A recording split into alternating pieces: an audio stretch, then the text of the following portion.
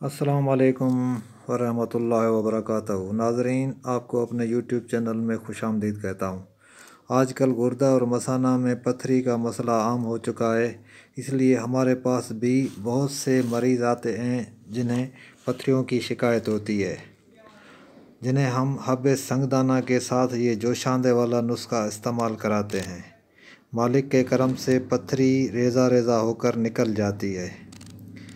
दोस्तों, यहाँ एक बात नोट कर लें कि जो भी दोस्त ये नुस्खा या कोई भी नुस्खा बनाएँ व्हाट्सएप से मिला या फेसबुक से मिला हो या यूट्यूब से किसी हकीम से आपको हासिल हुआ हो, मेहरबानी करके वो नुस्खा आप अपने करीबी हकीम, वेद या हर्बलिस्ट से मशवरा करके इस्तेमाल करें।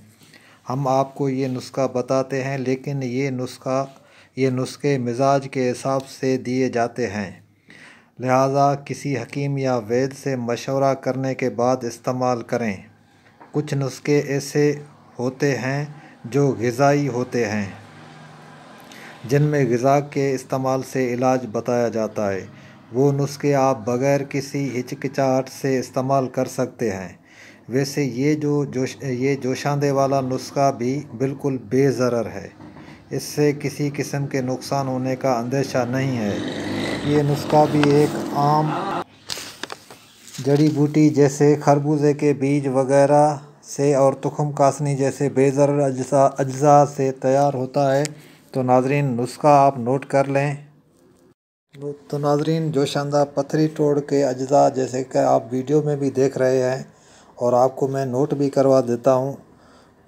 नाजरीन पाँच ग्राम सरफू का और कुलथी ये भी पाँच ग्राम लेनी है। तुखम कासनी, ये भी पाँच ग्राम लेना है। और तुखम खरबूजा, ये पाँच ग्राम। और बखड़ा, ये पाँच ग्राम। इन सब दवाओं को सुबह एक पाव पानी में जोश दें। जब तीन चार उबाल आ जाएँ तो इसको नीचे उतार कर दवाओं को छान लें और पानी के दो हिस्से कर लें। एक हिस्सा सुबह के टाइम हसब ज़ायका इसमें शक्कर मिलाकर सुबह के टाइम पी लें और एक हिस्सा शाम के टाइम पी लें। नाजरीन, ये तकरीबन पंद्रह बीस दिन इस्तेमाल करें। इन पथरी मसाने में हो या गुर्दा में हो, रेज़ा रेज़ा होकर खारज हो गई, हो जाएगी। नाजरीन गुर्दा व मसाना की पथरियों को तोड़कर खारिज करने के लिए इससे बेहतर नुस्खा नहीं है। इसे हब संगदाना के साथ मिलाकर दिया जाता है। यही नुस्खा दायमी कब्ज़ को भी ख़त्म करता है। इसलिए पथरियों के अलावा कोई भी शख्स जिसे सख्त कब्ज़ के की वजह से हर रोज़ पखाना नहीं आता, इसके इस्तेमाल से खुलकर आने लगता है।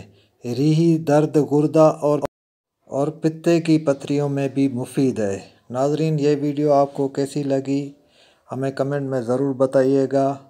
ये वीडियो अगर आपको अच्छी लगी हो तो वीडियो को लाइक करें, कमेंट करें और अपने दोस्तों और रिश्तेदारों के साथ शेयर करें।